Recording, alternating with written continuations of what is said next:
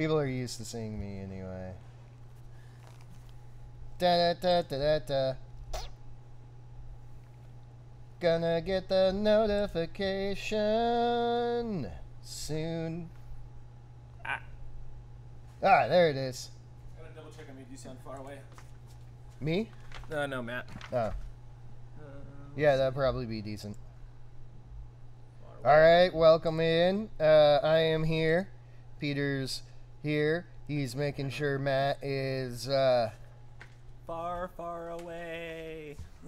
i- is yeah, you know, sounding good. Uh, They, they keep moving me farther and farther back in the shop. yeah. I promised I showered last night, guys. Hey, you know, yeah, that's why. You smell way too clean for us. Oh. Yep. Well, good All morning, right. everybody. Thank you for being here. I'm uh. Hey, hey, Poppy. Let's pull up our Uh, Do I let's pull up our stuff. do I need to copy the link for the Amazon into the chat? Uh, you can copy it into the chat. Yeah, we'll we'll talk about it in a second. Yeah. And then you yeah you can copy it in the in the in the chat. that'll, Um, that'll be that'll be good. for those of you who are new to the show, we don't always have TikTok on. when My phone turns on. Well, Or I, do we? I actually, I don't know about that. I, Actu- I was mean, going to say, I'm pretty sure that TikTok No. is just permanently open on your phone. That's that's I possible. mean, Uh, uh, usually we spend a couple minutes talking about just general beer news or genus news or things going on at the shop, new beers that we've got, and such on and so forth. Um, while people start to load into the chat, and then we go So- to a style of the week, and then we talk about some fun topics. What, oh, uh, what do you call a uh, sad strawberry? Uh, Saturday. A blueberry. It's a little blue. Then there's the. Speaking of blueberry, uh, yesterday we had our uh, Blue with Sour event. Um, actually, that was a great, uh, great lead-in. I didn't even mean to do that one. Yeah, Um, we got to talk about No, no, Pokemon. no. we got to play Pokemon. You, you did mean to do it. No, Take I- full I- credit. Take that was the fate of the gods. They were leading me into it. they just knew it was going to happen. especially Kantu. And oh, God bless Moon Knight for being out right now. Like, yes, Kanto or Kanto? Uh, Kantu Because Kanto is another sweet Kanto's lead in. another one. Yeah. Anyway, sorry. We have Uh, ADD. let's get off of that. Uh, we had the event that was pretty fun. Pokemon was played, blueberries were consumed and drank and cheesecaked. Uh, There's yeah. still some prep left over from the food, so if you're uh, in the area and want to check it out, we've still got some left over. You can come grab a blueberry sour beer, which is delicious, and some cheesecake and some wraps and all that jazz. as long as the cheesecake I know what I'm doing after the live stream. Yeah, Yeah, yeah, that's it's true. a- Open cheesecake available to us is not the not a recipe for long-term Uh, sustainability. Warren did not put a note on it that says "do not eat," so that's Yeah. his fault. That's on him. Consume That's- one live stream. That's on him. Uh, other new news: we got the Valley Cup, which has started, and uh, our submission to the Valley Cup is uh, going to be something we're kind of going over in the topic number one. But in general, uh, Valley Cup is a competition, more of a friendly, let's share uh, marketing kind of thing between all the Valley breweries that d- decided to participate, to include us, TTs, Snow Eater, Badass, V Twin, No Drought, Yaya, and That, that- you should have just had six. You No, no, seven. there's eight. There's eight. Yeah, Yeah. A nat Uh, 20. Nat 20. Nat yeah. 20. Well, how can we forget Nat 20? I know. Yeah. So go check all them out and then vote for our beer. You gotta actually vote for our beer right at the beginning when you get the card, and then when you go to the other breweries to get their submission, you gotta look them dead in the eye and said, And then hand it to them, I need your stamp. please. They're like, what? You already voted? And be like, yes, I know. I already know the answer to this. I just need, you know, your stamp to turn it in. Don't actually do that. It'll get us uh, get us in trouble. I was Yeah, going to say, I, I don't yeah. know if I'm allowed to vote for your beer since I. You are 100% allowed to Well, you vote are, for yeah. a beer. I mean, what I'm not going to, but if if there's a better beer out there, I will vote for it. Hundred percent. If there's Yeah. a beer better than ours, I will vote for it. I Well- don't know if there is yet. Not.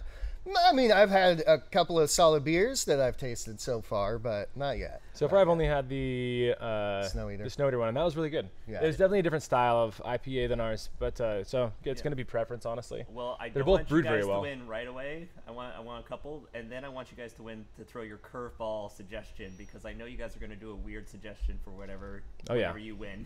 Everyone's got to brew a lobster beer. no, I don't think we can do that. Yeah. I mean, honestly, we probably could go for oyster slash seafood stout. Yeah. That would be fine. Yeah, that's probably within the range. Yeah. Damon would probably veto it. Yeah. It would- But, well, but he doesn't. do we if, care? If you win, you get to choose. yeah, exactly. Exactly. He can't say anything about it. Co- comment what our style should be, Should be. when we win. when we win. Uh, so yeah. Uh, hello to uh, Hunter Lewis from Wisconsin. Um, And Adam Chumbley, I'm glad to see you're here, even though you're juggling kids. yeah. I know the feeling. and everybody else that we missed further up. Just the Wisconsin reminded me I need to go to Wisconsin Burger and drop off some sodas. And Adam reminded me I should probably grab one of his beers for you Or at least yeah. maybe a beer. Yeah, that's yeah, that'd be a good Yeah. start. So yeah, uh, Valley Cup that should be pretty fun. There's uh, eight breweries competing in session beers, uh, and uh, we're, you know, we did we did a nice low-cal IPA for that. We we had a couple of other delicious ones. That's going to be a great time. I played a, um, I played Battleship with this beer, and it cheated. I think. Yeah. No, it didn't. Yeah, It was a fair beer. See, Adam. See what we did there. Yeah. Ah. Uh, Uh, for those of you that can't read, Adam Chumbley sent us this beer, and it's a uh, fair beer. so it didn't cheat in Battleship. It didn't cheat. Um, one more thing of news, we kind of branched off media stuff that we do in terms of, so we're still making videos on Genus Brewing. We're gonna try to get some new videos out on Genus NOT Brewing, and how that ties in is if you know anybody that needs a video made, we've got people to do it and would like to do that in trade for things and or and or favors. So uh, um, how that Oh. affects Genus Brewing, the brewery, is we made an Amazon wish list, and instead of or in lieu of a super chat, if you would like to, instead buy us a gift from our Amazon wish list. They range in price from like, you know, batteries always up all the way up to ridiculous stuff. We will thank you back in terms of a shout out, a dedicated video to a topic you want us to address, um, kind of all the way up. Depends on just I mean, Just if you buy us. something really cool and uh, buy all the equipment from us, we'll come to your place and uh, build you uh, a, a draft system yeah, and brew it for you, with you, Yeah. on, on top of on top You. of you.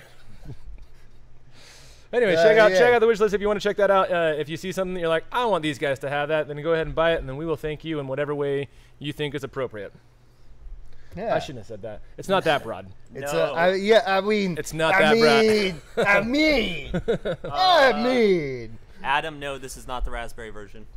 Uh, no, it's not. I think we drank all the raspberry versions. No, we're getting, I- some, we're getting some good out there. Yeah, it uh, is. This is the raspberry version. It's it the is. raspberry version. yeah. Dang it, As soon, Matt! as soon as I tasted it, I was like, yes, this is the raspberry version. I Uh, you can tasted smell it right off the top too. Yeah. Uh, we're getting a good evening from Belgium over uh, Ooh, Michael we got a hug from Brazil too. Wow. Yeah, uh, All over the world. I'm gonna say the, uh, for the fellow in Belgium, please send us every single beer that you can get yourselves your hands on, Yeah. Or just send us the whole breweries. and maybe like as much Schaerbeek cherries as you can. I am obsessed with those things, and we can't get them here. And if you know there's a live seed that just happens to be planted somewhere, I will not not tell. We do know people that are professional growers of things. So Yeah, we, that we can make it happen. We can make it happen. I mean, uh, we do actually. I mean, we know the guy uh, from Pear Up, and he has tons and tons of pear farm, Mm-hmm. uh, pear trees. I'm sure that guy down there could get into the cherry business. Anyway, I digress. Uh, Also, Nocturnal Brewer is on the Amazon nice. list already because he, he, he saw Tim's edition. oh, nice. Yeah. No, actually, that. Now, let me talk about that. That was my newest edition on there, which I'm sure uh, he's talking about. Uh, Nocturnal Brewer saw something on there. No, for real. We ride scooters as a primary form of transportation. We both live about two miles away. It saves a lot on gas. We deliver beer on scooters, actually. Yep. Uh, saves on gas, eases a little bit of traffic that's non existent out here in Spokane Valley. Um, and at the same time, like Very practical. The other day, you know, my car uh, it didn't necessarily break down, but the check engine light went on and it was making a funny noise. So I was without a proper transportation for a couple of days, but in came the Scooty. That was amazing. So while that is going to be fun, especially the off-road version, it is also practical and will get beer to people. Everything on that list is practical to some extent. I promise issue. Uh, uh, you know, at least be used by the media channel in some way that will be absolutely entertaining. Yeah. Uh, speaking of practical favors that people can do for us, um, if anyone wants to start out by buying us some coffee and breakfast, One Oh. of one of us and only one of us is hungover. Yeah, yeah, exactly one. You guess which. Uh, just Uber it right here to the uh, shop. Uh, I'm a I- I- fan of biscuits and gravy. Peter's a fan of uh, country fried steak. I will take a bagel of any sort. Uh, I was gonna say I, I biscuits and gravy for for, for the For the for our Ned. Uh, unless you have like a chorizo biscuits and gravy, and then oh my god, I'm posting I'm reposting the address into the chat. and if you do that, we will make a dedicated video about anything you like. Let's get on to our beer, of the week. Bum, bum, bum, beer of the week. Yeah. Today we're talking about uh, kind of a specialty IPA subcategory, which is session IPAs. Um, and then when we get into our topic number one, we're going to broaden that out to all session beers, talking how to make them flavorful. The specialty IPA that we are going to niche down into today is actually the one that we have on tap as our Valley Cup submission. It is a low-cal IPA. Yeah. Uh, session IPA, low-cal IPA, uh, brute uh, ish, if you want to go there. Normally, brutes will be a little bit more alcoholic and a little more bit more pungent, but that's actually a lot of the techniques that we're going to use to make this low-cal and sessionable on that. Yeah. Now you might be thinking, wow, guys, bitterness and no body because you're making it brute. How's that going to work?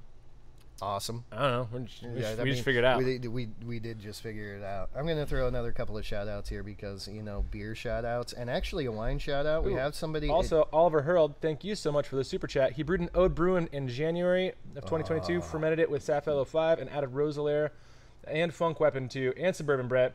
When should I bottle it? Uh, January 2025? Five? Yeah, you Four. probably bottle it. You could probably bottle it anytime between six months and a year. Yeah. Uh, I'd probably go six months, but, but you don't drink any of those bottles until the year mark, and then every year down the road, um, open a bottle until it's Yeah. perfect. It's probably going to be at three or four years until it's perfect. Roeselare, in my opinion, uh, especially if you're it's your first pitch and you're not doing a solera with it, it takes a couple years to get perfect. But once it does, Roeselare is one of my favorite, favorite, favorite blends, uh, especially for solera. It just works so beautifully. Yeah. Uh, but in my opinion, at least takes a year to really start developing.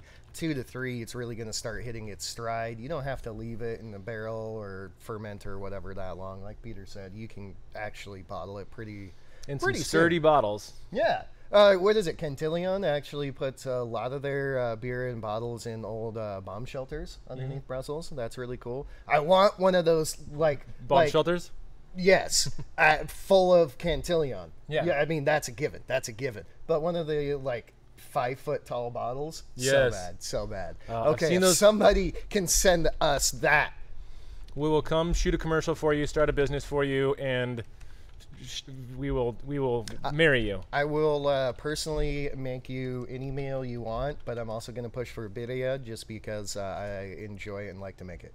Yeah, And he's been obsessed with it for the last several years, several days. I at least a couple of months, but that's only because of the taco truck that it's like a couple blocks away makes some of the best. Sorry, specialty IPA. Well, we are making some shout outs. There's a guy in uh, Argentina down there. I really want him to send me some wine um, because Argentinian wine is phenomenal. Some Tempranillo, please. I love Tempranillo. There's a guy in Astoria, and he just needs to send us Fort George, the entire brewery. Yes, that's a good point. The entire brewery. Yeah, Please. that's a. Is that gonna be ground or can we do one day air on that? I you know I don't even care, but either way, send it brick by brick. I don't care. Just please all of it in my mouth. For anybody that hasn't had Fort George uh, Brewing Company, go seek it out. They're amazing. Yeah, and relatively affordable at all style ranges. Oh God, yes. Oh man. Oliver Horrell. Wow. Okay, so that project takes even longer. Thanks a lot. Uh, anytime, Oliver. We appreciate you super chatting. us. Dude, dude. Yeah. Uh, and, uh, you know, Oliver, uh, in that too, mix ferms are really awesome. Uh, they do continue to develop. So when it starts tasting good, bottle it. But do keep in mind you threw a ton of Brett in there, and that Brett is going to continue to work on things and create CO2 and carbonation. So really make sure that you're uh, hitting your sugar levels right, uh, your gravity levels right, so you don't blow up bottles because Brett will will create gur- uh, gushers. Also, also, Oliver, send us a bottle. yes. Yeah. Also, Also, Obligatory send us beer. send us beer. Um, and label it Matthew. That's probably a smart idea Four live stream. for live stream. Okay. Um, uh, specialty IP. All right. I was going to add just below 1006 is usually a good safe bet when Yeah. you're bottling anything with uh, mixed culture in it. Uh, specialty IPA, so we're talking about uh, specifically, we're going to niche this down into our low-cal IPAs, but let's give you the broad rundown of category 21B. Oh, wow. I am sorry. I just started reading this thing and it just hurt my heart a little bit, but it's also kind of fun. This category allows expansion, potential future IPAs. St. Patrick's Day Green IPA? Okay. Better than green. Just think, beer. think of it like matcha and spirulina IPA. Yeah, Romulan Blue IPA? That's great. This one hurt my heart. Zima? Zima Clear IPA. And if somebody makes a good tasting clear IPA, please do send it to us. I want to try that. Actually, That's possible. Terp blends in a seltzer. Yeah. Uh, how do you add some bi- in with monk fruit? Monk fruit. Yeah. I was Uh, gonna we say, do uh. T- Tim, you're you're going to be brewing that at some point in time. All right, look for the Genus Zima Clear IPA at some point now. All right. That's doable. All right. All right. I will add that to the wish Tim's wish list. Do, Yes. do it. Do it. Do it. Ah. So it's, this is a broad category. It goes into all sorts of specialty IPAs. Uh, um, specifically, we're going to be niching down again into the session styles. Um, so specialty IPAs is every category of IPA, and kind of Yeah. When black IPAs weren't really known how to categorize, and red IPAs and white IPAs and uh, Belgian IPAs. Uh, now session IPA. All that is now under this category. Brute IPAs. There's a lot of them. Um, but the Yeah. term IPA is used as a singular descriptor of a type of hoppy bitter. I'm going to put that part in quotes. It is not meant to Mm. be spelled out as India Pale Ale when used in context of specialty IPA. None of these beers ever historically went to India. At least they they mentioned that. That's actually Yeah. yeah. It's a really cool story, and people need to keep perpetuating it because it's much cooler than the actual truth. And as far as I know, the truth that we can find in tax histories is some dude in uh, basically England figured out that the sailors coming back liked a hoppier beer, so he called it India-styled pale ale, Yeah. and then sold the shit out of it because if you can sell more with a gimmick, that's what we do. But now we're calling like- IPA a word, which Yeah. is nice. Um, because then I mean, because people also like get on the black IPA part thing too. Like, oh, black, I and, mean- black and pale. I get it. I get on that a little bit because it's kind of stupid because it's a black India pale ale instead of saying like IRA. I love the IRA, the India Red Ale. That yeah, that's a cooler way to The say it. The India Black Ale, Cascadian Dark, when we were calling it that, that was kind of fun. I mean, really making a distinction between them besides like, here's a color and hops because we put IPA on it. But Yeah. that's how it's being described now. Well, IPA it's is an because adjective. the the rest of the because most of these are coming out of the inland northwest slash Pacific Northwest, and the rest of the country is just like they just like their IPAs. That's all they. Yeah. Well, Now when got you're in the- the home of the IPA is hops, you got to make Yeah. IPA. But now it's a word on that, so it's no longer means India Pale Ale. IPA is just a designation for highly hopped beers. Um, and uh, the Samba 37. Yes, Cascadian Dark Ale. Floater Joe, Yes. IPL. Yes, it's greater than cold IPA. When we're talking about the session category of IPA specifically, what we're talking about is any IPA that is under, uh, we'll call it 5.5%, really anything under the normal style for an American style IPA. Uh, usually you want session IPAs to be in that under 5, maybe 4.5% range. Uh, it's actually under five. It's two five. It's 2 5? Yeah, it's three to five is where they class. Three to five. Okay. okay. That that is actually one thing. So that's something I'll that's give, I still it's give it the 5 official. point, point wiggle room. Yeah. Yeah, I have seen the market, and personally, I don't enjoy it. Um, but I've seen the market creep higher on session beers, especially for IPAs, as a normal IPA is moving closer to like 7% instead of that being a double IPA. 5.5 people are calling them session beers now. Uh, personally, I don't enjoy that as much because that's not, for me, that's not as sessionable. No. If I have a 5% or a 4.9 beer, I can just drink a lot of that. If I have a 5.5% beer, it I can't drink as much. No. And when I hear session, I want to chug it. I want to be able to drink a lot. Yeah.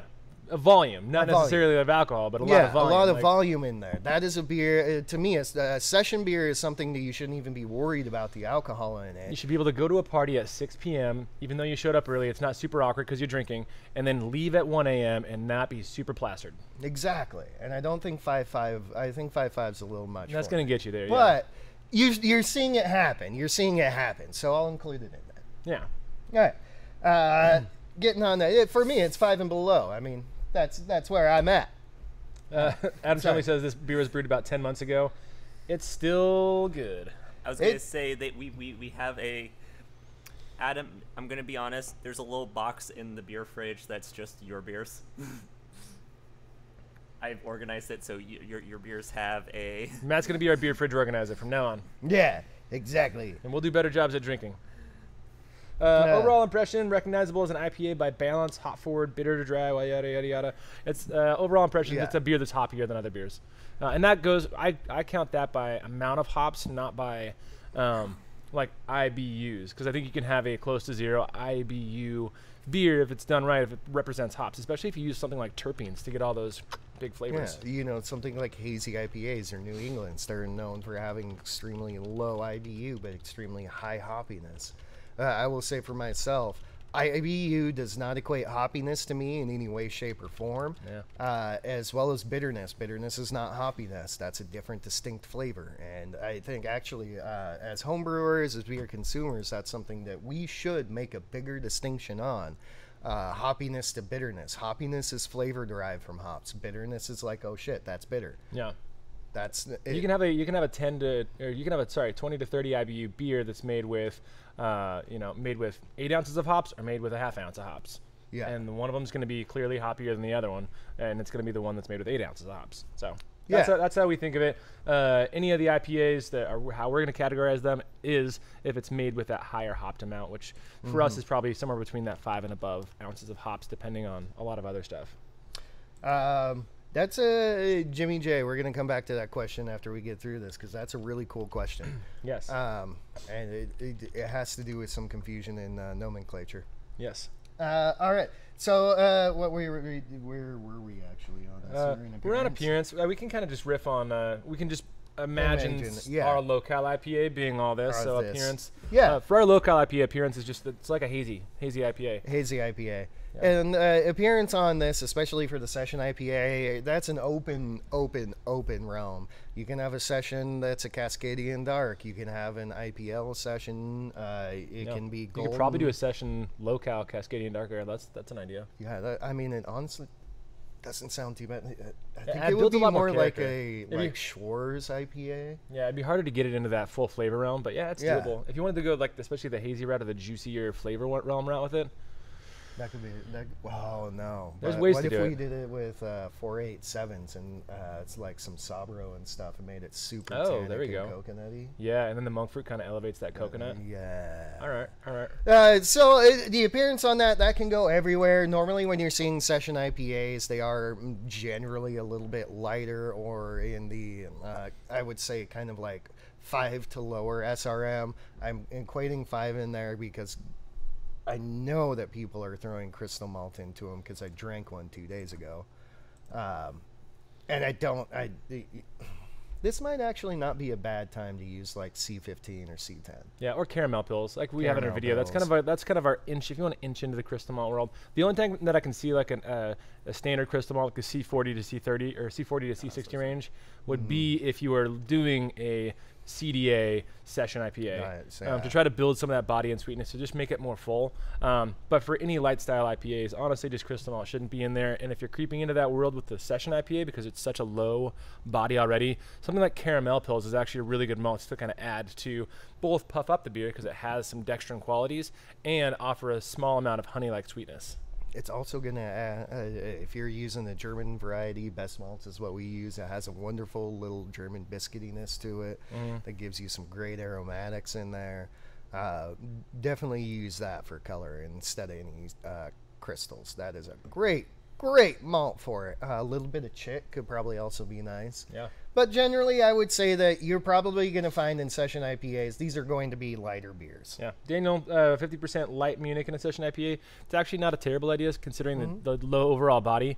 You'd want to structure your hops in a way that probably moves it slightly away from the juicy quality of hops and a little bit more towards the dank, maybe a little bit of citrus aggression, um, just because Or that Munich or spicy hops. Yeah, because that that Munich is going to give you that bready, toasty base, and that can sometimes clash with. Uh, um, Actually, with juicy hops. that could be really good with more kind of, uh, I would say, a German session IPA, some Mandrina Bavaria, throw Yeah. it in there. Uh, throw something maybe even with a white wine quality like Nelson Sauvin. Or Yeah. some- Immediately uh, puts my some- brain into like the IPL, like what I kind of hop an IPL in. Yeah. But you can get by with like a touch of you know Columbus or something. So, oh, Columbus would be Sativa, maybe. Sativa would be really good. Actually, and I'm going to throw this out there too. Uh, Evergreen uh, blend Mm-hmm. or Sequoia blend would also be amazing in those. Uh, so yeah, 100% do it. Aroma. Now, being an IPA, the aroma on this should be packed full of hoppy goodness. Whatever hop you uh, hop profile you decide to go with, Yeah. whether that be fruity, juicy, We're making floater Joe tropical. thirsty. Yeah. I, wait, I got you. You got me? What do you want? A Ooh, beer from yeah. the fridge? Yeah, I was gonna get a beer. Yeah. I was gonna get my own beer that way I didn't have to be. I was saying you- I was saying you're making Yeah. floater Joe thirsty, Yeah, you're making uh, floater. Joe. But I was Joe also gonna get a beer at the thirsty. same time. Um, ah, sorry, we got. I don't even have to leave. derailed. There were some questions there. Obviously, it should be packed with the hop aroma, whichever hops you're choosing on that. They should be fresh. Uh, they shouldn't be oxidized at all. Shouldn't be cardboardy. What? Uh, shouldn't be cardboardy at all. And then uh, if you are doing a darker colored in there, doing you know a red or a black uh, IPA, you should be getting some of the malts coming out of that. You should have a small presence of the malts coming out of it, uh, as well as if you're doing a white or a uh, Belgian IPA, you should be getting yeast derived esters coming out of that as well. They shouldn't be dominant over the hops. It should be hop dominant. It's an IPA. The aroma is hop dominant. Uh, Hop dominant. hop dominant. Flavor. Kind of the same iteration right there on flavor, but flavor is going to be a little bit tricky with session uh, uh, IPAs and low-cal IPAs. Um, Yeah, looks like classic West Coasty. Yeah. uh, Bottle conditioned. so little in there. flavor is going to be tricky because you don't have Nice. a lot of support behind the beer.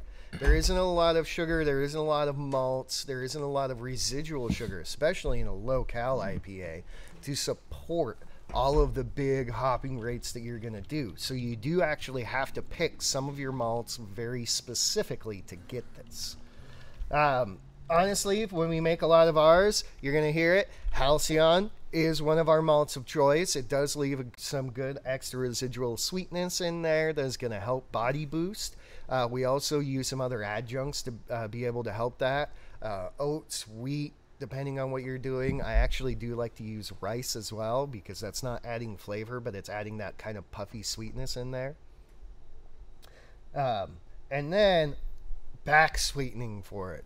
Back sweetening uh, for a session or low-cal uh, IPA is pretty big. Because you'll find, especially in low-cal, when you ferment all the sugars out, it's so thin, you're getting an overly, overly bitter beer. There might be some really good hoppy flavors, but it'll be overly bitter. So we got to come back and boost that body back up. Yeah, and we like uh, for low-cal specifically, um, we like monk fruit extract, uh, monk fruit sugar extract, because it is kind of like stevia and that it's non-fermentable, but it also comes from a natural fruit source, and that fruit is a grainier um, kind of texture, so it actually adds a little bit of pseudo beer flavor. We stole that idea from Dogfish Head, um, Yeah. but once we tried it, we loved it, and we keep using it. Slightly mighty? Yeah, Yeah, mi- slightly uh, mighty. Is it mighty? Yeah, I think it's slightly mighty. Is that Dogfish Head or is that Firestone? No, Firestone is uh, low and go or something like that. Yeah, slightly Yeah. mighty. Um, and, and 100% it works. Using all the other things, you got to use an unfermentable sugar somehow to do that. Personally, I hate all of the uh, diet fake sugars, uh, you know, aspartame, sucralose, all of that. Yeah, Uh, even stevia can get a little bit bleh. It tastes fake. It just tastes fake. And monk fruit, it tastes like a fruity brown sugar. Uh, generally, I mean, you can taste it's not brown sugar. It's a little bit different than sugar, but it's like a fruity brown sugar. That's pretty much how it translates. It's one to one to uh, towards a white sugar, so it's very easy to use to back sweeten on that. Plus, when you're making a low cal, you do got to think about keeping it in a healthy range. So it does uh, keep it in keto and all of uh, the healthy range, the healthy friendly stuff. Yeah. So that is something. I mean, not super duper important for if you don't care, but that is something if you're making a low-cal to think about. That some people might actually be wanting to stay in keto, and you can make a keto beer. Yeah. Um, Mouthfeel. mouthfeel. Um, so smooth to me. I mean, this is especially on the session end. The mouthfeel is going to range quite widely. Um, so when we're doing our low, uh, low-cal IPA, the mouthfeel actually does perceive full again because of that monk fruit sugar. But also we try to select malts that are going to leave some little bits behind, um, so that it's not just drying out base two row basically. Um, so it will have some mouthfeel. A lot of that comes from the added back sugar, but uh, because we are bruting that beer completely down, the mouthfeel is going to air on the on the lighter side. Um, and some smooth warming notes can happen, is what this says. That's more for the higher alcohol versions, um, not for session IPAs. Uh, realistically, the alcohol should be for a low cal IPA kind of in um, blend with uh, the hop uh, oils. So any um, hop dankness or hop uh, resinousness should kind of blend in smoothly with the alcohol. Yeah. Um, the mouthfeel is very important, especially when you're getting such a small beer on there. That's something you really have to think about. To make it more enjoyable, you kind of got to boost the mouthfeel. Like Peter said, the easiest way that we have found is through selective malts on there, plus your selective sugars. Some sugars feel more full than other when you're back sweetening on that. Uh, so that's just something to also think about. You could, depending on what style you're doing, also switch over to uh, different yeasts that produce bigger, fuller mouthfeels. We like to use Lutra and go very fast and quick. Uh, actually, most kveiks. We like to use most kveiks. Lutra is one of them. Hornindal, uh, Voss, all of it. They add some extra really good flavors.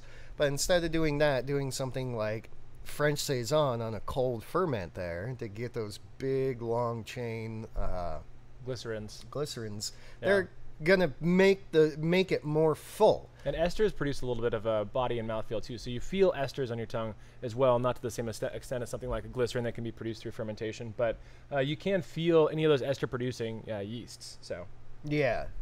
Um, so that's something else that you can also think about doing uh, to produce more mouthfeel in here. Melisandre, hi guys. Happy to share my Sunday fun day with you. We're happy that you're here too.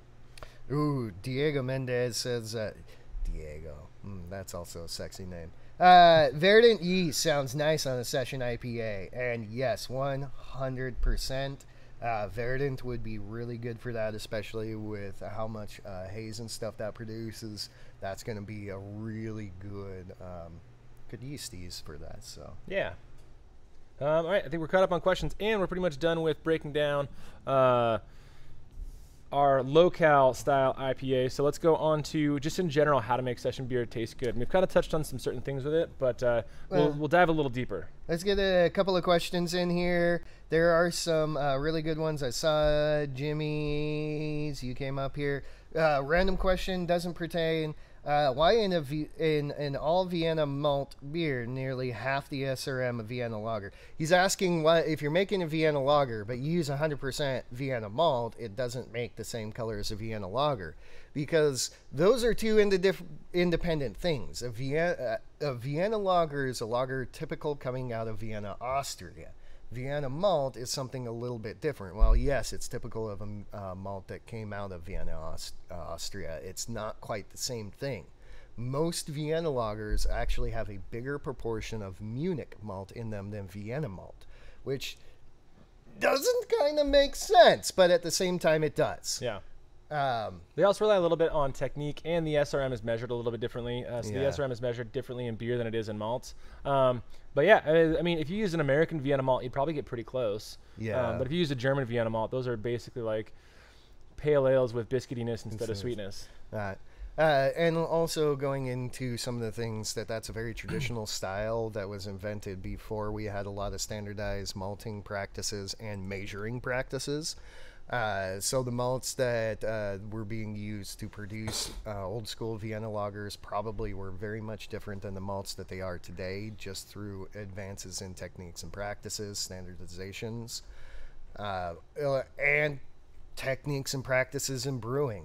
Um, I'd be willing to guarantee that the techniques and practices of brewing that they were using when these styles were being invented are different than the ones that they are today.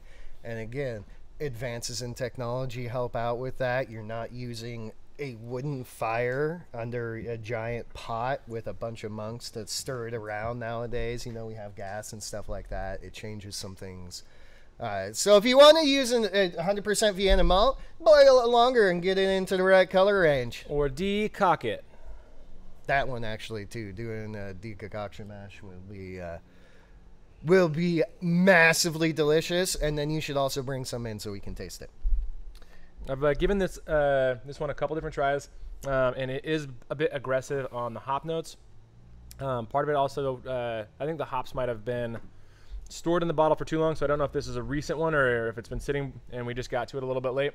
Um, but it is pretty aggressive It's on that. New in the fridge. New in the fridge. It, to me, it smells like Old Centennial. When uh, Old Centennial starts to break down, and it smells like uh, Mr. Sketch purple smelly marker. Okay. The one thing that I would say, I mean, I'm probably because I'm used to a lot of later edition hops too, is maybe just stagger out your hops a little bit more. Um, fermentation, I think, went a little bit wild on it. It's definitely a drinkable beer, but it's really, really aggressive for my morning palate. Speaking of morning Ooh, palate, wow. uh, Patrick Sandy said, "I bought you stuffs. Thank you, Patrick Sandy. I appreciate you buying us stuff, and Yeah. let us uh, let us let us know if you want some stuffs in return. Yeah, yeah, definitely. c- we you can really love message that. me on the Discord. Yeah, Skyman five sixty. Ned'll take care of it. Yeah, Fi Skyman five sixty seven. Sour question: How much lime to add to uh, uh, sour? He's doing But- a 10 gallon batch just so you are aware. Okay. Okay. Planning on lime peels, direct to fermenter, or maybe tincture. Uh, I'm gonna say be very, very. It, it's better in a sour because you're gonna have the acid content. Be careful with lime, uh, especially the juice. But when lime ferments out in beers, it starts to taste like fruity pebbles, and it's no joke. I've done it several times, several different ways. Uh, if you cannot preserve the freshness of the lime oils, it's gonna taste like fruity pebbles. That being said, lime peels uh, to really get the oil on that. you need to get the right beer- lime peels first of all. Yeah. Um, key limes work actually a little bit better. They're softer, a little bit sweeter. You want some uh, expression of oils, but you don't want it to be like, you know, super thick or super thin on the peels. Yeah. Uh, if you're peeling a lime and it bursts oils everywhere, that's a good lime to use. Yeah. Uh, the super thin, thin skinned large limes are not going to give you very much, but the super thick, wrinkly ones uh, are a little bit more bitter on there. Um, but tincture is going to work out really well. That'll help uh, stabilize the oils and add them in. Plus, uh, then you get to use end, too. tequila, which makes everything better. And actually, tequila would be amazing to do that with a little lime tequila sour. Oh, Yes. Okay, so Avery did one of these, and it was incredible. the Insula Multos Callibus. Oh my god! No, no, no, no, no, no. Or was it the Fortuna? Fortuna. Okay. Insula uh, Multos Callibus is a sour cherry. It's Oh, bourbon gotcha. sour cherry, and I think I still have one of those. Ooh. Why Uh, haven't you brought it in? Never mind. We we digress. Yeah, so it kind of depends on that. Um, how much to add in there? It really depends on your beer. I would probably do it in post, just because you want all the acids to develop to know how your uh, lime's going to react to it. Ah, shit. It really yeah, it's knowing your limes. F- five five Two pounds of limes, maybe. I was gonna say five for a five gallon batch, so that's like maybe ten. Yeah. I So someone commented the same thing, and I was like, yeah, it's a good starting place, but it really depends. yeah. Combination of juice. It's gonna, I mean, the juices change acidity. The peel has different oil content, so it's really hard to like kind of nail down a number. Ooh, But start with a little bit of juice and um, and more peel than you might think, and then yeah. you know if you need to add one or the other afterwards, then yeah. then do it. Uh, also, I have seen people use with really, really great success and more, uh, excuse me, expression of lime is black limes. Ooh. If you can get a hold of those, because they've already gone through kind of that degradation process, they've expressed their fruitiness, the oils change a little bit, and that's really good as well. Uh, Jimmy J, have you tried raw versus white monk fruit? You got to be kind of careful with different monk fruits, uh, especially if they're not monk fruit extracts, because some of them have, you know, varying amounts of actual sugar in them. So it's kind of more of a guessing game the less you know the composition. Um, so no, we haven't done that as a side-by-side experiment, but that's my only piece of advice if you do it. The monk fruit that we generally use is the monk fruit in the raw one. So it's at URM. It's great. It's still keto. It's all monk fruit. Yeah. So. Uh, Adam Schechter, English I, uh, Session IPA using Maris Otter and maybe Challenger and Target. Funny you should say that. if you are somewhere in the Spokane area, you should go down to Natural 20 Brewing Company and have their Valley Cup brew because that was a session smash made with Maris Otter and Target and I have not had it yet, but I'm actually really excited to go down and try it. Shall, shall we do some beer tasting afterwards? Do you need some pictures? Do I do need some pictures. Yeah, we need to get some stuff done. Uh, we got, uh, yeah, we've got lots of fun videos and pictures Okay. coming up. Follow Valley Cup on Instagram, by the way. I am one of the people running it, and so we'll make sure there's some cool content on there that's specific, kind of the local Spokane scene. But if you're on the outside world and also want to see what's going on in that, then check it out. It's a whole new Instagram by itself. Yeah. I was gonna uh, say there's a lots of uh, stories for you to share Yeah. Yeah, probably. because uh, because uh, me and I Sophie- shared I shared a chunk, bunch of yours. I need to share uh, Spokane drinks. Is yeah Yeah. yeah. Uh, Oliver, we'll get uh, two more before we get on to topic one. Oliver George, hey guys, love your content. Wondering if you ever put black pepper in a session, and how did would you do it? We brewed, Peppercorns. We brewed a really good one, but the pepper doesn't show. Thanks. Uh, yeah, as Peter is saying, actually, the whole peppercorns are a super duper light crack on them. Um, that way, you get a slower extraction out of it. You're extracting less tannins. It's a lot easier for that. If you can find the actual like stick that the peppercorns are in, that's actually a really, really good way to do it. Um, if it's not expressing enough, you know you need to add more next time. Uh, also, if it's your first time or your first time doing it uh, with that particular style of beer, do your peppercorns in there immediately, and then yeah, I can't. I'm sorry. Uh, do your peppercorns in there for how much you think you should be doing in it. If it's not expressing enough, also have a side tincture made that you can come back and dose uh, with that. Um, did you already So- say playing around with a little bit of toasting on the peppercorns too? Oh God, yes! Toast the pepper. Don't over toast them. Yeah, no, don't over toast. But a light pan toast, um, not your cast iron, because that should be well oiled, and you want to keep it away from oils. But a light pan toast is good. Uh, and then you just got to run it through a uh, tree with a bunch of branches and peppercorns on it, and then you know Mm. you turn into a great local brewer. Yeah. God, that sounds good. A light toast should be good. I mean, a light toast works with coriander actually really well uh, too. A lot of that stuff. Just make sure you don't go over because you don't want to. You don't want to make tannins. You don't want to make the harsh, bitter flavors. Yeah, you're not They're making black. really good and expressive in food, but in beer too much. But that should, if you're doing it with a new style and you think uh, you don't want to overshoot it, make a tan or a tincture on the side. That way you can uh, back those before package. Ooh, Mistral and Callista hops. Would they be good in a session IPA? If we have an answer to that, we should get to that because that kind of goes with it. But uh, Mistral and Callista hops, yes, especially if you're trying to niche down into like an IPL style.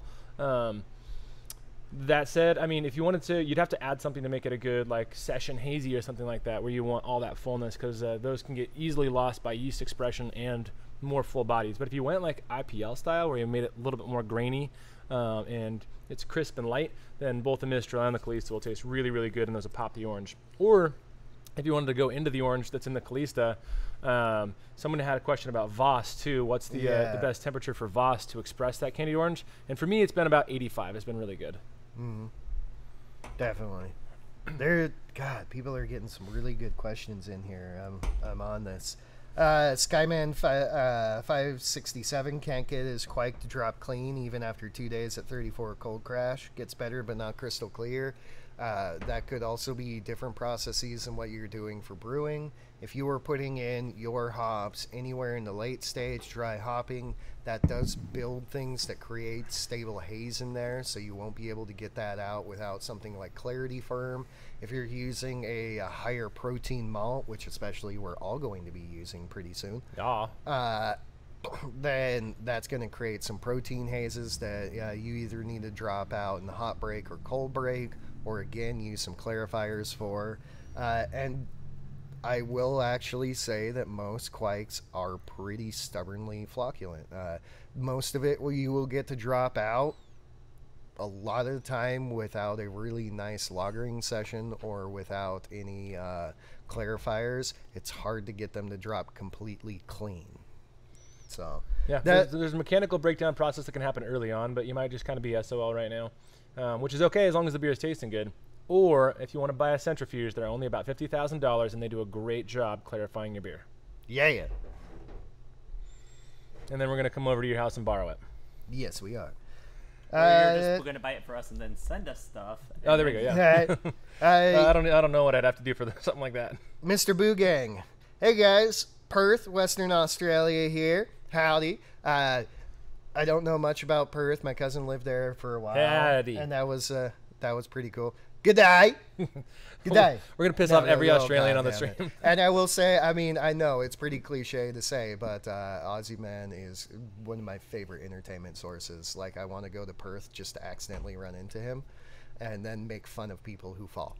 Yes. Um, but Giz question. Uh, can you give me some secret tips about running a kegerator? My brews taste different from freshly poured to being in a corny keg. Thank you. Um, secret tips to running a kegerator. Most kegerator companies are great at refrigeration. They don't know very much about beer. So you need to make sure that your kegerator has proper equipment and you need to make sure that it has proper line length in there and proper lines for that. Most of them do not come with that, which is why we love the Komos brand because they're good at beer and refrigeration. Yeah, you get forward sealing stainless faucets right out the box, and so you're you don't have to worry as much about cleaning because they come with poly lines, which are resistant to bacteria and flavor pickup.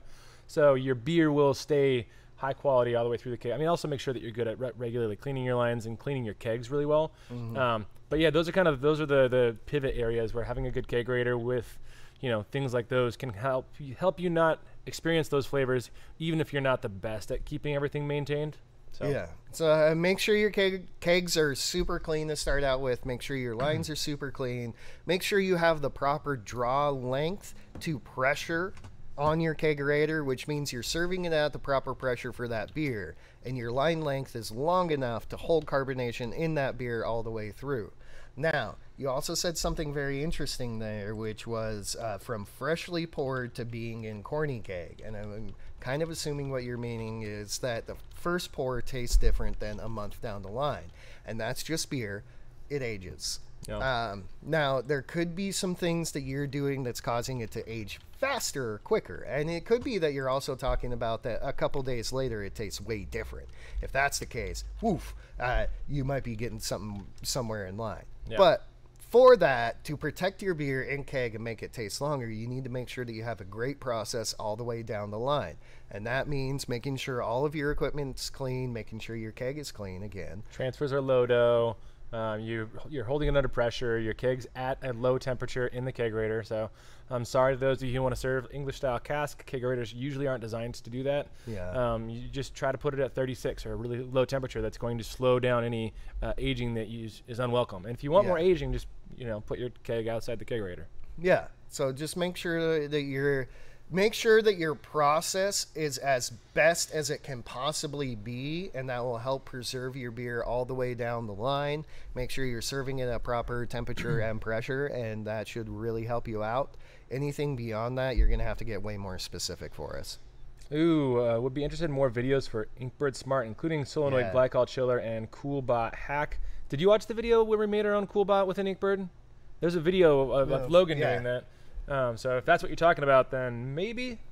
Um, yeah, uh, didn't he make a video of him building our glycol solenoid stuff? Yeah, that was the second video. So we Yeah. had the that video, and I think we made a video of the Coolbot hack. So instead of using a Coolbot, we spent like you know, I don't know, thirty dollars worth of stuff and bought an air, con- air conditioner. So maybe hundred dollars total, and did it for way less money. Yeah. and that's the um, the definitely also on-site kick storage we have. Yeah. Uh, Pamela Hakla on the lime thing, someone said that uh, kaffir lime leaves are better for lime flavor, and I honestly might believe that because you're still picking up some of that green grassy bitterness. You're getting more lime to oil expression, um, and more of like probably the actual uh, like lime terpene oil expression rather than some of the other fruity. That could be really cool. Make one, Pamela, and send it to us or bring it. Yeah, we'd love to see you back here. Um, KO Brewing uh, loves a little wheat in his IPAs, and that actually Ooh, kind of goes into our topic number one a little bit. I don't know, we're, we might just keep answering questions because I think this is going really well. But uh, wheat is a actually good in- is, good in Yeah. any session beers in general because it builds body and has character other than just base two row character. And so it's gonna automatically add a dimension in addition to some body in an otherwise relatively bodiless beer. Uh, I like it in IPAs too because wheat is actually very fruity and it has a little bit of an acidic quality to it as well. So it really helps pop a lot more fruit flavors coming from uh, your hops. And at the same time, a lot of people think that uh, wheat is less fermentable than it is, and you can pretty much 100% ferment wheat out. Mm-hmm. It does have a higher protein content, uh, but you can pretty much 100% ferment wheat out, so you can still get it into that low cal area with some good uh, enzymes and rest and uh, enzymes. Yeah, I said it twice, and I know that enzymes and rest and enzymes. Um, also, we're drinking Matt slash Ned slash guy in the chairs beer, and it's pretty good. All right, so it, it actually didn't age terribly. Yeah, it's like, yeah, I can drink this. It's it's got a distinct. This is still homebrew flavor, but it's it's good. I can I can I can do it. Um, it's one of the recipes I need to work on a little bit. Need to get yeah. it get it a little fixed.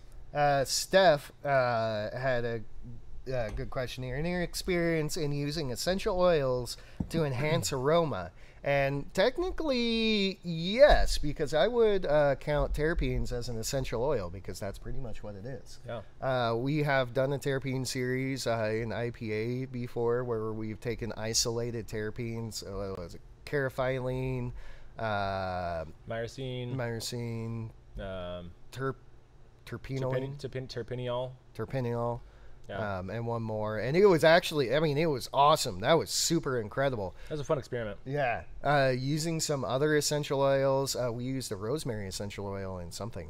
Yep. Um, before too. The regular essential oils that you can get, like the lemon balm and all the stuff that you can get from like uh, uh what's that Dota Dota Dota box or something like that. Um, I wouldn't play around too much with those. First of all, just because their cost efficiency is low to mm-hmm. the flavor you get out of them, and some of them might be too potent in one direction. We found that out with certain oils that we've added, where it just kind of distracted the beer and it didn't really add to the beer. So I'd be careful with it, but definitely possible. And I would put those two in terms of how you dose in kind of the same category.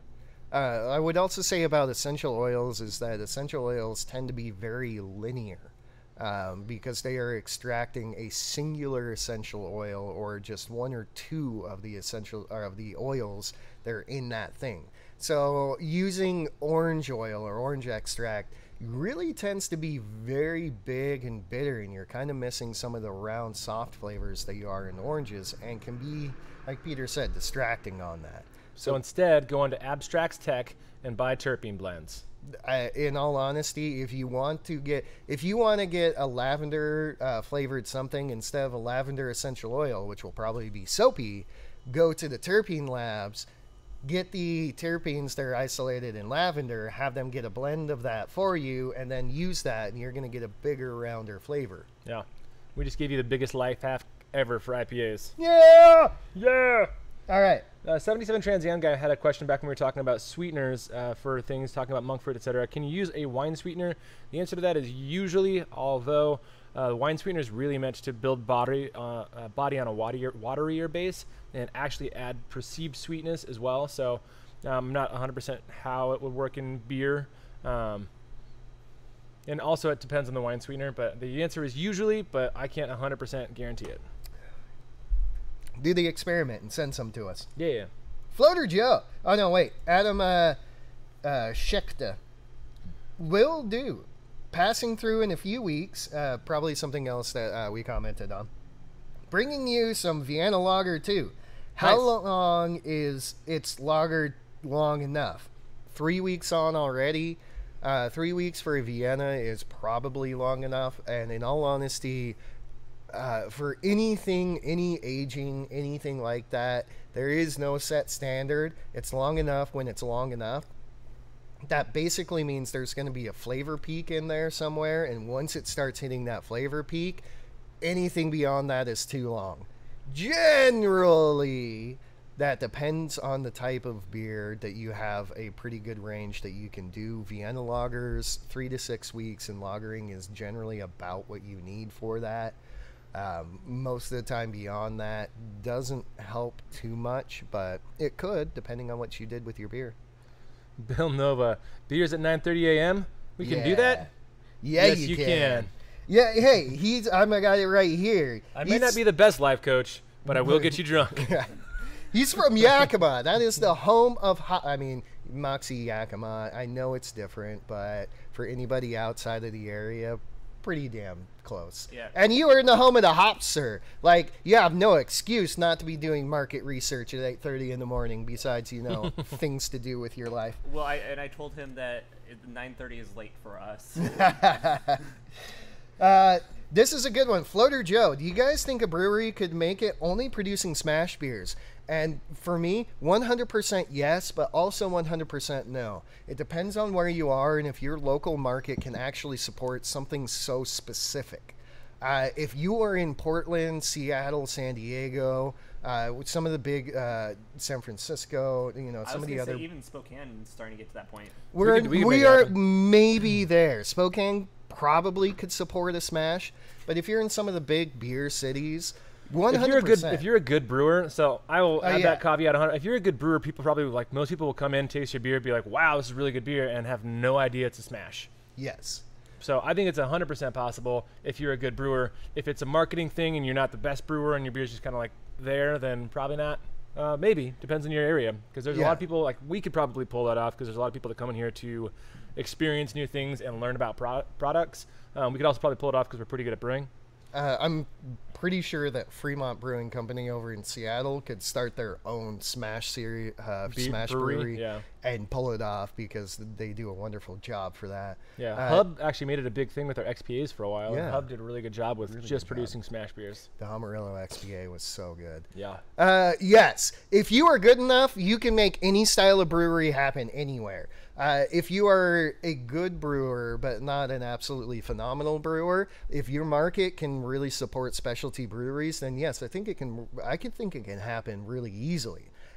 The one deal about Smash and being a Smash specific brewery is you are really going to have to give up on a whole bunch of other styles, especially things like dark beers, because it's going to be real hard to make a Smash stout and only use something like carafa or roasted barley.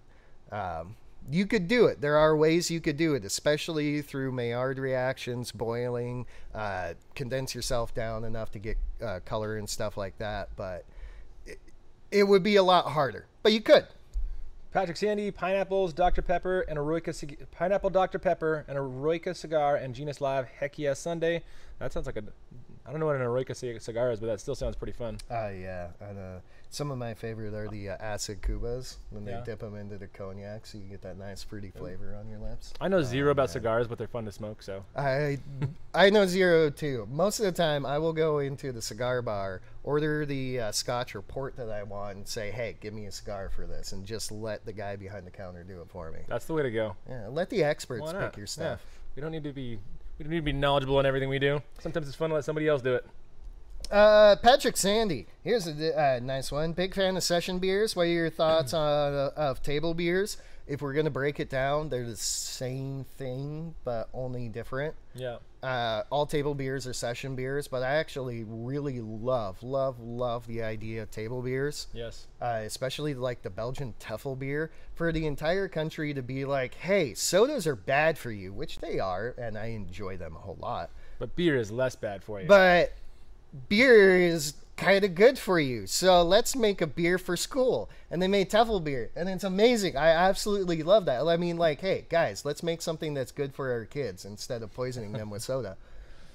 And go Belgium. Go Belgium. Yeah. But We, I uh, love we, table we beer. went on a kick for a while with having a table beer on for uh, probably a, a, over a year straight. We had different I, table I- beers on. I drank a lot of that. yeah. Yeah. Those were those were those are nice to have on too for me. I love them. Uh, in the American market, that's really hard just because a lot of American drinkers love to see if it's under 5%, it's a lot harder to sell that beer, no matter how good it is, which Yeah. is silly. Which is silly. Rohit Gund, what's the major difference between session and regular session IPA and regular IPA?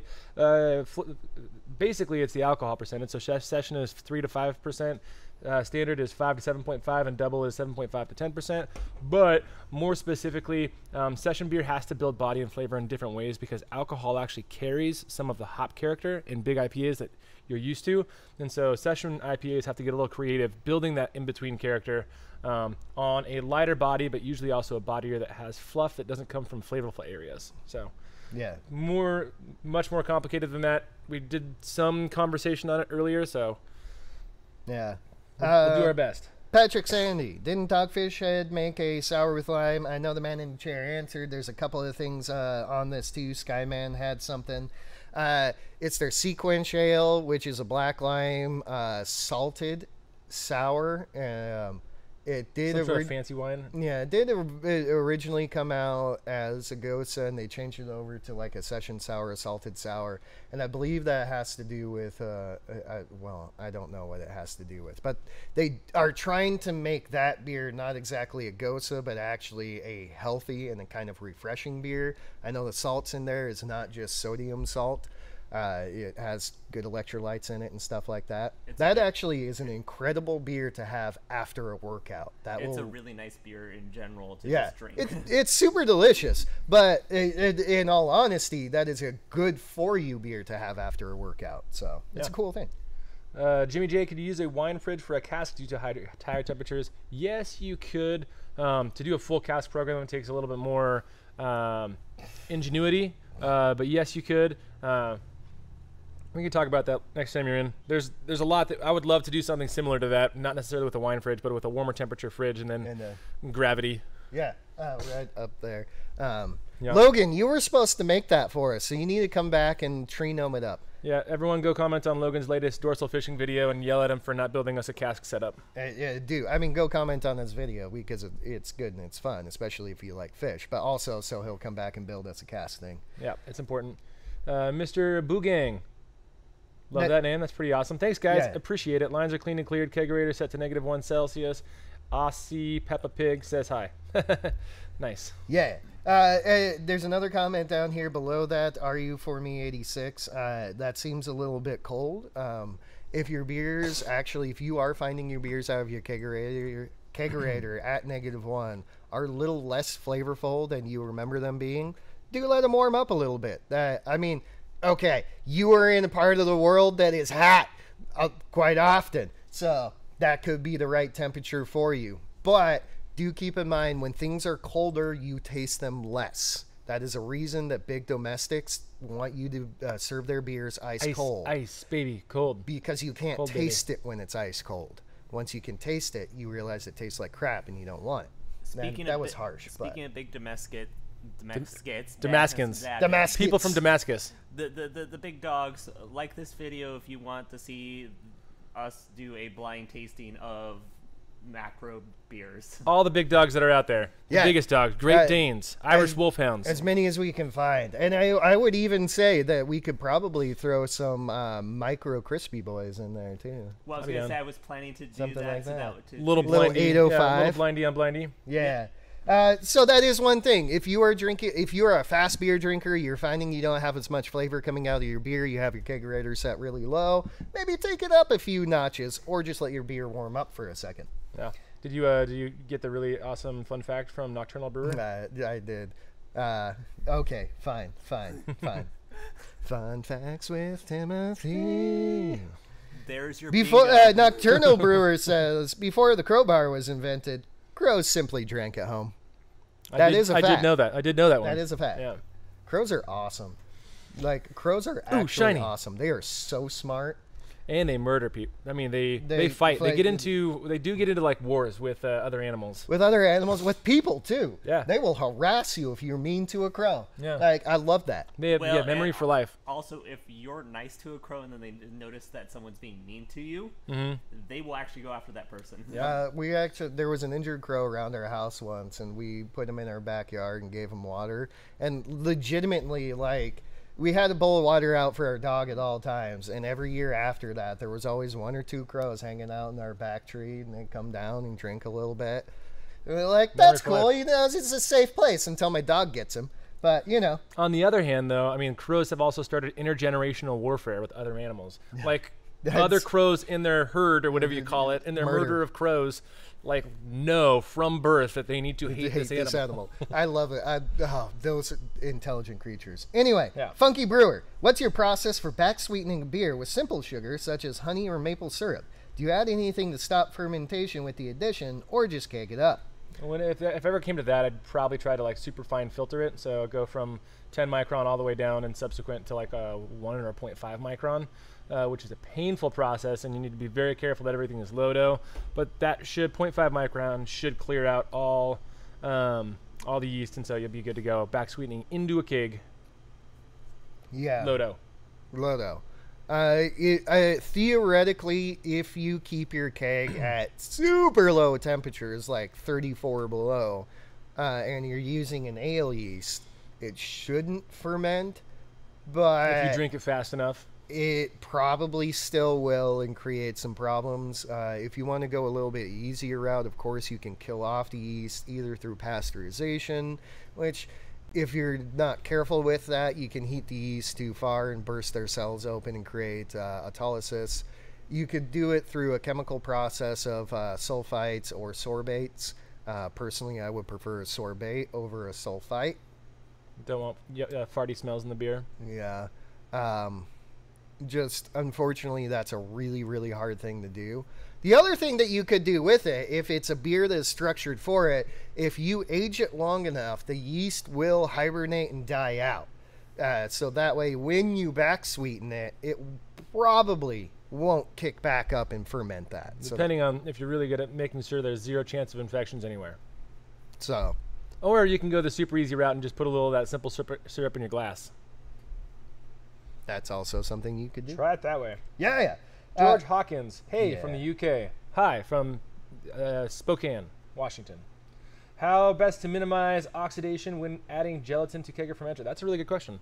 Um, if I would add it to the keg specifically, and then I would use a syringe. So I would do the whole gelatin heated up thing. I would use a syringe. I would super CO2 uh, gas out disconnect, um, and then with that gas out disconnect, I would add a small length of tube to it. I would relieve pressure a little bit through that gas out disconnect, have some sort of an on-off valve on there. Pop the syringe on, squeeze, squirts it in.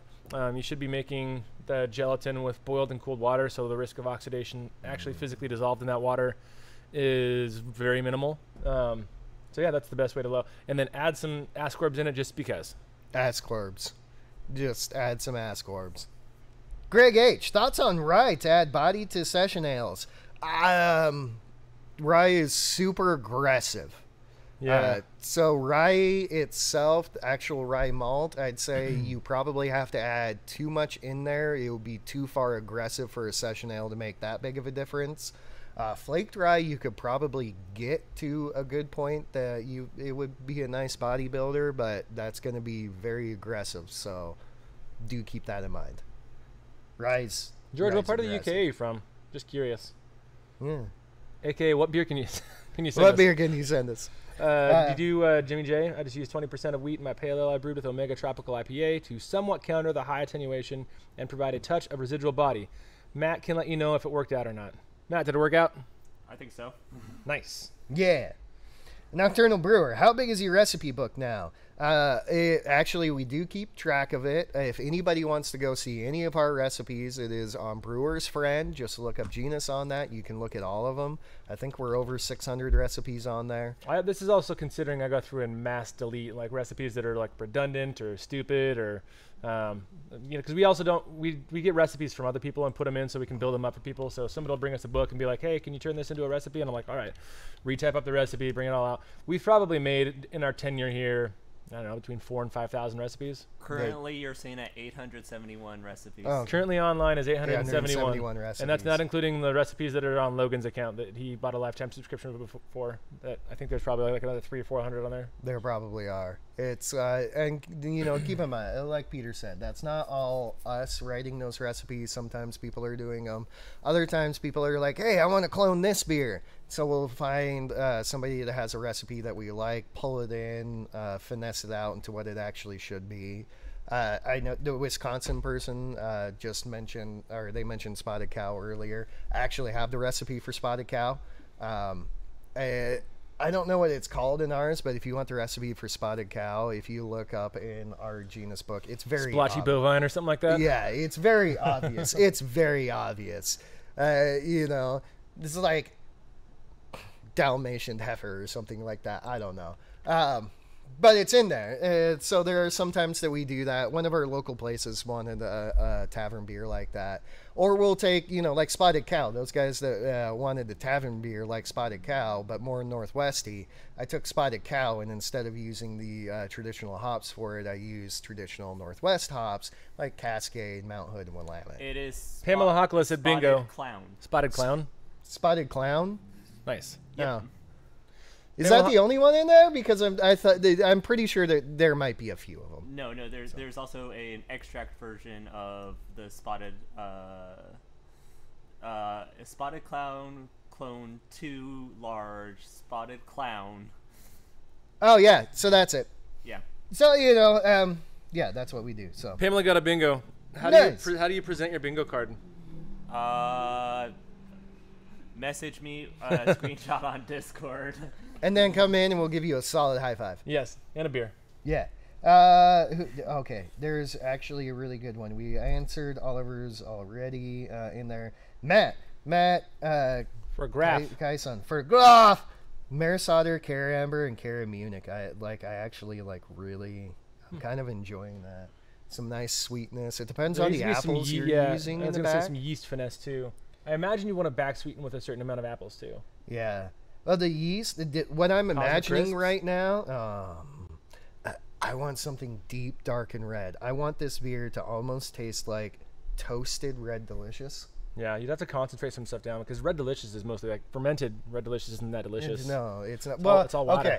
If you have Spire Dark and Dry, the way that Spire Dark and Dry is has that those deep notes and it oh, it tastes like kind of that perfect tasting red delicious skin. Yeah. I love that. I would also say in here, Matt, my thoughts, my initial uh, thought for that is adding some molasses. Yeah, something to like really, really depth in it.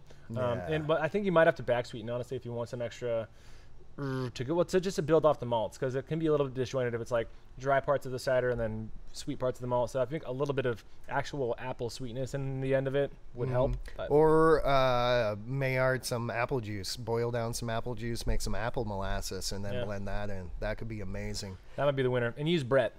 Ah, Brett C. Yeah. Brett C. Get some funky pineapple. Or Brett B. Guys, the hazy IPA I was sending you will be 6%, was supposed to be 7-ish. I used my typical 1.5 quarts of water per pound of grain. I think moving to 2 quarts per pound will help uh, with conversion on hazies.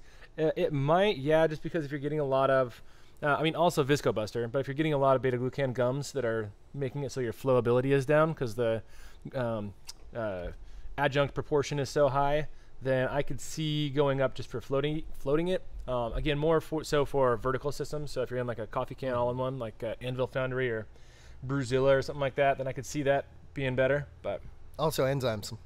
but yeah, Visco Buster, enzymes it. Enzymes it. Uh, right above that, uh, no, mm, Matt, this actually really did taste. It, it aged well. I like that. Yeah. Uh, do you guys ever play around with making NA beer? Um, no, we actually really haven't. The deal with that it is it is very cost prohibitive. Uh, the yeast, the easy yeast to make NA beer are very expensive, especially for small uh, brewers to use. It really hasn't broken out into the homebrew scene yet. Uh, the equipment to make NA beers out of alcoholic beers is far too expensive for us to afford. Yeah, the chemical processes. So, we will once it becomes viable for us to do that.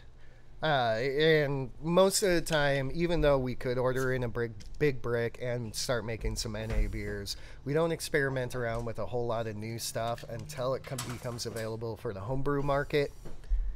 That way, we can relate it to you and be able to get it into your guys' hands. Um, Daniel Cunningham, uh, mash efficiency when using a 20 to 25% wheat ends up much lower than other beers. Uh, usually 70% rather than the 85. Fly sparging using around igloo coolers. Undercrushed wheat, probably not. Uh, I would refer back to the same answer we had for Adam Chumbley, where Visco Buster would be my number one thing. What's probably happening is beta glucan gums are preventing flowability through your mash. So that's basically something that water doesn't like to go through. Um, instead of sugars that water absorbs as it goes through, you've got these little gums that water goes around, and those gums hide sugar pockets. Which is the missing sugar in your beer. So a Visco Buster will help with that, or doing a rest um, somewhere in the 125 range for 20 minutes will Uh, also help. Rice hulls. Rice hulls, yeah. A lot of rice hulls. Fluff it. Yeah, uh, that's just one thing. There's no hulls on that. Uh, they do have a much, much, much lower Gracias. diastatic power. Mm, gracias. They have a much more uh, lower diastatic power uh, than any other barley malt really does on that. So the enzymes are really going to help them out. Uh, if you're really struggling with that too, maybe doing a little bit of an extra long mash. You know, hit all the steps. Hit all the steps. Michael Lane, use under uh, use Mecca uh, grade under modified pilsner malt yesterday for my tripel. Cool. You did a proper mash schedule. Correct. Um, so much protein in my foundry. Also correct. Uh, hopefully you had a good way to get that out and didn't didn't burn some to your foundry. But uh, yeah, that's uh, under modified malts are fun until they're not. Yeah. Yeah. They're a uh, little bit. They're, they're always fun to see how much protein ends up with those. Even that, even if you use like a high uh, grist ratio, and if you do that in a hazy IPA between the hop shrub and all the extra proteins, it is a lot. It is a lot. Uh, I mean, they're great things, especially when using stuff like Brett or other bacteria. Uh, I would always 100% recommend some other modified stuff. Just get those extra proteins in there. Let Brett eat everything. Yeah. But uh, a- a- after a certain point, all the extra work is just extra work. George Hawkins is from about an hour south of Burton on Trent. Mm, yes. Mm. So send us every beer around you that you can get your hands on, and I will tell you, I know, We'll I know. Well, I know it's a, a lower, less thought of beer because it's one of the more mass-produced ones. But I will tell you, some London Pride literally got me into uh, craft beer. Fuller still does a full like parti-gyle uh, brew on that one, and I enjoy it. So I would also take that one. Also for ascorbs, we have a whole video on ascorbs. When I say ascorbs, I'm talking about ascorbic acid. Um, so if you want to learn more about that, check out our ascorbic acid video. Yeah. Uh, Patrick Sandy, any beer styles you would not make a session version of, excluding the big ones like Russian Imperial Stout and such? Um, I don't think that there's really any style that couldn't be sessioned well as long as you're doing it right. I do Yeah. a session stout that you guys have had. The Yeah. The salted caramel stout. Yeah. I do. Well, we made a summer stout um, that was only 5%. That was absolutely phenomenal. That sold on really well for a dark beer for us too. Yeah. you Um, should rebrew it. there's. That sounds wrong. Yeah. Well, we'll do something similar. No, Yeah. that's what I mean. Maybe Anyway. something similar, yeah. Yeah, there's a few of them. I mean, I, in all honesty, I think it would be pretty fun to see if you could make a session barley wine too, and just Maillard the shit out of a beer. Uh, tons and tons and tons of boiled Maillard character going into that, but only have it five percent. And barrel age it so you can get the same big booziness. Yeah. Yeah, actually, I have had uh, a barrel aged beer that was only like five percent. It was really good. And a quick follow up. He goes, "What styles do you think would be are kind of more ideal for making session?" Um, I, I mean, all of them, honestly. Uh, Yeah. ob- the obvious ones to me are like mixed ferm sours and things that have Oh, a lot of character naturally. Um, yeah, Yeast any, derived beers. yeah, any beer that has really, really big yeast character makes a it's a no-brainer for session styles. They're also really good on big beers; are just more difficult to deal with. But Yeah, I mean Grisette. Grisette is just one about the tastiest beers you can make, and it's not, but it's basically a session saison. Um, absolutely wonderful. And most sours, most mixed ferm sours, are not that alcoholic. A lot of them could be in the session range, especially traditional ones. Uh, that one. this one, Yeah. Um, you know, and, and that ends up happening just because fermentation in mixed ferm beers, there are things that can eat alcohol and turn it into acid. I think that's just a standard, just American stout.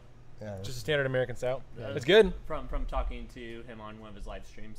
Oh, dope. uh, but uh, yeah, yeah. Is that um, steel chair? That's uh, That's steel chair. Yeah, that's Cole. SC is Cole. steel. Yeah, SC is definitely Um, steel chair. So I'd Cole, if say, you're watching, check, yeah. thanks I'm for the beer. assuming that's at least. That's what I'm assuming. I would also say for uh, styles that lend themselves well to sessions is a whole bunch of uh, English, Irish, and Scottish styles naturally pub beers are session beers. Yeah. You know, so there you go. I, M- mild ale, that's a perfect session beer. ESB or bitters, like that's a perfect session beer in there. Most of the reds for it, like yeah, there you yep. go. So all right.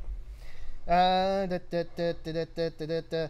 You all mentioned in previous live streams that OptiMash was better for hazies. Uh, we we've used OptiMash. We use ViscoBuster and OptiMash for pretty much everything. Yeah. Um, so I wouldn't say it's necessarily better for hazy. It's just it helps us keep our consistency there, and then we can do more extreme grist things. So which would you use on a hazy, Optimash or ViscoBuster? Both. Both. Both. Okay. One hundred percent both. Yeah, Uh, ViscoBuster takes care of the beta glucans. Yeah. And OptiMash just helps convert everything. So on hazies, especially because uh, you're using such a high adjunct quality on hazies, OptiMash is amazing because it really helps you maximize all of those sugars that are coming out from the flaked grains, the oats, the wheat, the rice, whatever other adjunct fluff haze you're adding in there. OptiMash is going to be amazing because again, some of those don't have enzymes and others have very low amounts of enzymes. So anything you can do to help it out to fully convert and create consistent beer, we're always going to recommend OptiMash. So it creates consistency more than anything, and that way you can play more with malts and hops rather than relying on uh, oh I hope I have enough enzymes to make this work. Yeah. There's a lot of good comments on you know new technologies that have come out in the non-alcohol beer world. Uh, leave us a comment if you'd like us to make a whole video on all the new technologies in the non-alcoholic world.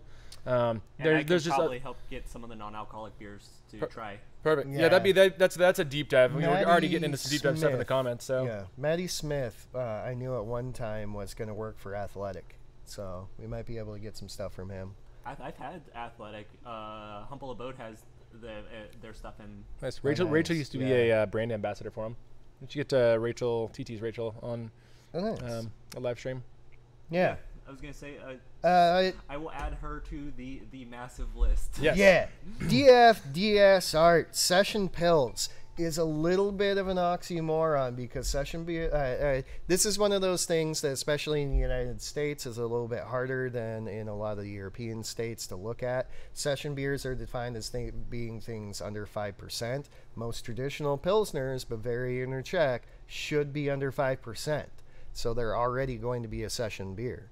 Um, Pilsner, Helles lager, those are perfect examples for session beers too. Again, being in the United States, it's kind of it, for some places, it's actually getting much, much better, much easier to sell beers of any kinds. But it is hard to sell beers under five percent. So that's why you see a lot of American pilsners being over five percent. They necessarily shouldn't be, but unfortunately, to make money off of them, it's you kind of got to do things like that. Make a little concessions, right? But yeah, Pilsner, make a session Pilsner. That'll be absolutely delicious and phenomenal. And send us some. Yeah. Yeah, and send it to us. Uh, yeah. So uh, we we never really kind of got a to to topic one, but we talked a lot about topic one and how to make your session beers taste good, uh, and everything. Um, you know, and that uh, if we got With some, your questions, I think we did a pretty good job. yeah. So, Let's start working on closing out. We are technically open right now, so and I need to get my wife her keys because I accidentally took them to work today. like this video, comment on this video, uh, check out our Amazon thing if you want to buy us something. And we've got a whole list of things that would support us and help us out, ranging from you know necessities like batteries to things that are definitely not ridiculous in the slightest. And if you do, we'll do something in return, like make you a video, give you a shout out, um, come film your daughter's wedding or a commercial for your business, whatever. But, I was uh, gonna say that if you get the chair, If you get the chair, Matt, Matt will. be happy. Very Matt, Right, Matt will be very happy. Matt will do all your homework for a year. Yeah. So uh, You, yeah, you, you expect I did my own homework when well, I uh, was in college. we'll get going. We got some good questions on that. We'll try and get uh, the other videos that you guys are uh, requesting on it. Thank you for tuning in, Jimmy J. I have no idea what Utah Brewers actually do for that. Um, so, I think the laws have changed too. what? I think the alcohol laws in Utah have changed as well. Some of them. Yeah. It's still pretty independent county by county. It's in- interesting. Uh, but yeah, thanks for tuning in, guys. Uh, go follow all of our stuffs. Definitely vote for us in the Valley Beer Cup because we have the best beer out there. And uh, we'll see you next time, next Sunday, right here